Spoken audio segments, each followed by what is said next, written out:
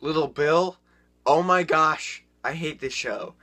It's about a boy named Little Bill who is named after his father, Big Bill, and he goes on failed adventures every single day with his friends and his sister and brother. This show is a ripoff to the books. And why would he name a guinea pig Elephant? That's a funny name for for a guinea pig. I really hate this show so much. Do you know who hates this show? Me. Justin.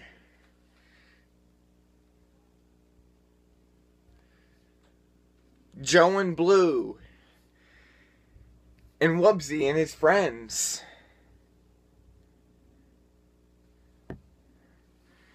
We all hate this show so much that we do not want to see it again or watch it at all.